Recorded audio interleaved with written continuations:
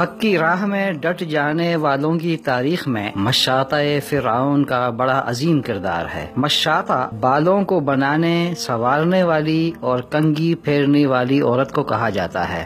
فرعون نے اپنے اہل خانہ کی خدمت کے لیے ایک مشاطہ رکھی ہوئی تھی یعنی بالوں کو کنگی پھیرنے والی عورت رکھی ہوئی تھی۔ آج کل کی اصطلاح میں اسے بیوٹی میکر بھی کہا جا سکتا ہے۔ فرعون کے اہل خانہ کی مشاطہ فرعون کو نہیں، بلکہ اللہ تعالیٰ کو اپنا رب مانتی تھی۔ معراج کے موقع پر ایک جگہ رسول اکرم صلی اللہ علیہ وسلم نے بڑی خوشگوار مہک محسوس کی۔ آپ صلی اللہ علیہ وسلم نے جبریل سے پوچھا، اے جبریل علیہ السلام، یہ کیسی خوشگوار مہک ہے۔ حضرت جبریل علیہ السلام نے بتایا کہ یہ فرعون کی بیٹی کے سر میں کنگھی کرنے والی خاتون اور اس کے اولاد کی خوشبو ہے۔ رسالت معاف صلی اللہ علیہ وسلم نے پوچھا، اس خاتون کا کیا قصہ ہے؟ اب مشاطہ فرعون کا قصہ حضرت جبریل علیہ السلام کی زبانی سنیے۔ حضرت جبریل علیہ السلام نے بتایا کہ ایک دن وہ مشاطہ فرعون کی بیٹی کے بالوں میں کنگھی کر رہی تھی کہ اچانک اس کے ہاتھ سے کنگھی گر پڑی تو وہ بے ساختہ بول اٹھی، بسم اللہ۔ فرعون کی بیٹی نے اس سے پوچھا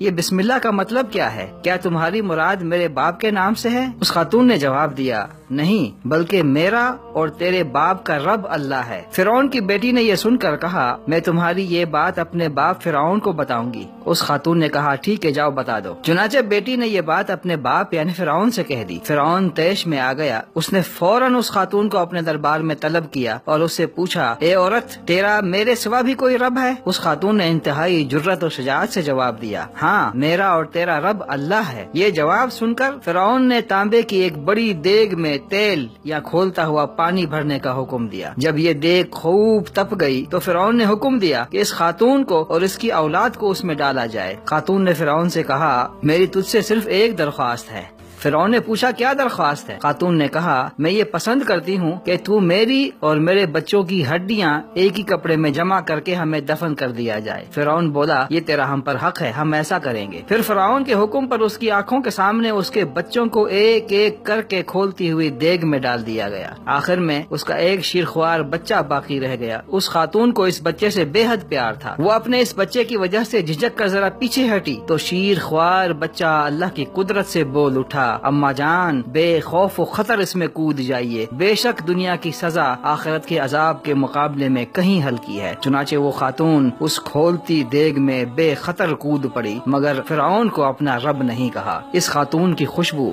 رسول اکرم صلی اللہ علیہ وسلم کو معراج کے موقع پر محسوس ہوئی۔